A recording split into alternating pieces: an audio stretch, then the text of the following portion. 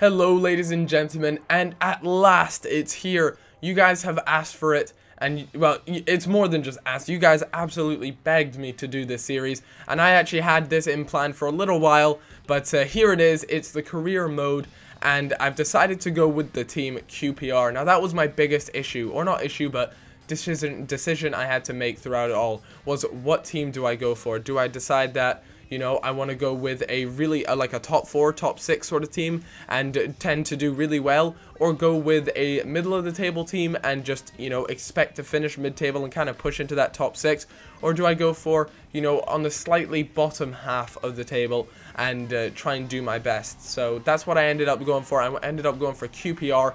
But uh, just before I go into this entire series, I would like to just say a few names out there.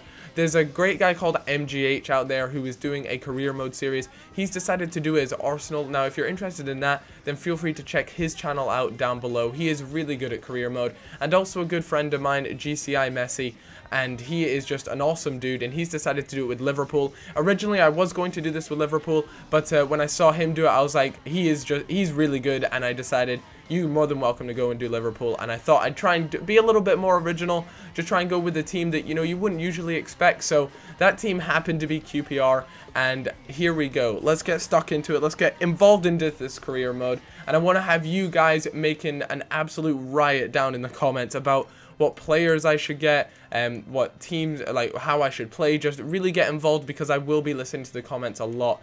But uh, I decided to go for a moderate leaderboard, uh, moderate board leniency, sorry. And uh, I decided here, let's get the European First Cup draw sorted. And if you look at it there for a Champions League, or as they call it, the Champions Cup, it just didn't look right at all. Um, on the second redraw, though, that was much more like it with the likes of Chelsea, Barcelona, uh, Manchester United, all there. But uh, I'm going with world class. That's my difficulty. I hope you guys are cool with that. Um, it's just that I don't want to have too hard of a difficulty to the point where I'm not enjoying the game, but I also don't want it to be too easy to the point where it's just win after win after win, and it's just really not that entertaining. So Welcome to me. My name is Callum Freezy on this. Um, just as a little disclaimer, my last name isn't actually Freezy. Um, before you guys comment saying that. But a nice shirt and tie should do the job. I like to turn up to the match days looking neat and tidy, looking fresh, and uh, looking like I'm ready to go for another tactical masterpiece. So the board wants me to finish mid-table, and I really hope I can do that. I really would like to push for a top 8, top 6 sort of region. That would be my ultimate goal, and they'd like me to reach the semi-final in the Cups, which in all honesty is probably a pretty tricky uh, cup, depending, you know, if I get into the FA Cup, that's going to be uh, that's going to be pretty truck, tr trucky, sorry, tricky to reach that semi-final stage. First thing I do, as any manager should when he gets a new team, is sort out the tactics of the team, the players I want to be playing on the first team pitch. But I decided to go for a 4-4-2 wide formation. I feel as though that's pretty good. I've got the likes of my man Wright Phillips. I've also got Hoilett there who can play those right mid and left mid positions. And uh, at, up front, we have the likes of Cisse, Taarabt as a centre attacking mid. Taarabt's got 5-star weak foot and 5-star skills, so there's no way I could leave him out of this squad. Um, you know, it's a, it's a pretty solid squad. They made some good transfers in the window. Um, you got the likes of Park there as well. Um, Zamora and Johnson on the bench. I'm not really too sure. I've got a few strikers on the bench. I reckon I'm going to have to loan them out or, uh, you know, even possibly sell them because uh, strikers are really, as soon as I grab myself a new team, I always want to go and just reorganize attacking because attacking is where I tend to do best. But they're Junior Hoilett and uh, Granero, the Real Madrid transfer this season. Um, he's looking pretty solid. Very good all-round stats, I say. He's not a fantastic player by any means, but he just looks to be an all-right, all-round solid player and uh, definitely someone who I'm going to keep an eye on throughout this uh, career mode to see just how he develops more than anything. But uh, that's the team I've gone with. I have Farland up front, and you might be wondering, why have you done that, Caleb?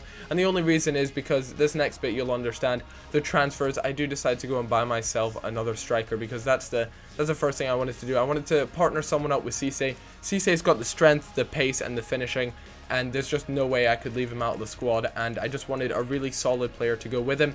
But if you guys have seen my previous video, my very first career mode video, where I literally just made one video where I went as Liverpool and it was more of a tester than anything, but uh, I went straight for this one player. He goes by the name Darren Mattocks. He plays for the Whitecaps FC, the MLS side, and oh my days, what an animal this guy is. And you guys will see him. My only concern is that uh, he is only, I believe, when you first pick him up, he is a 60 67 or 69 rated player, and that's a little bit worrying, but I did keep in mind he is only 21 years old, so that means the expectation of him improving is really high. I really do hope to see him improve a lot. Yeah, he's rated 67, and uh, I'm really hoping he just comes into the game and just does a lot better if I start playing him.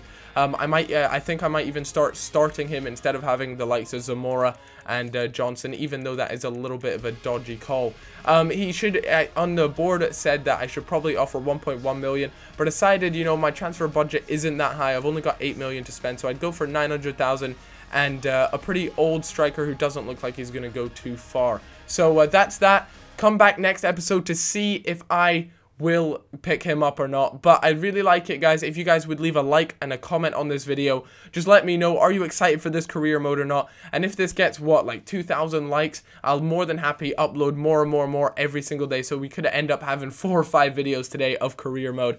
I hope you guys do enjoy this video. And if you did, like I said, leave a like and I'll catch you guys all later. Bye-bye.